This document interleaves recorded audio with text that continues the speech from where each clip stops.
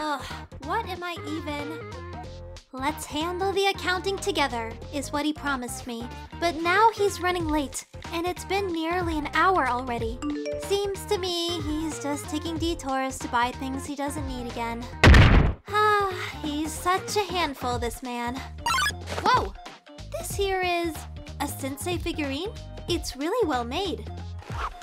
Sensei, where are you off to now? You are keeping your precious student Yuuka-chan waiting, you know. My bad, Yuuka. I will treat you to lunch next time. So, can you let it slide this once? Honestly, Sensei, what am I gonna do with you? Just this once, okay? Huh? You made reservations for a fancy dinner, you say?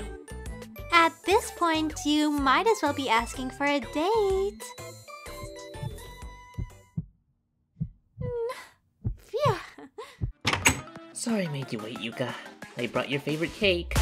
You, you are super late, Sensei! My bad.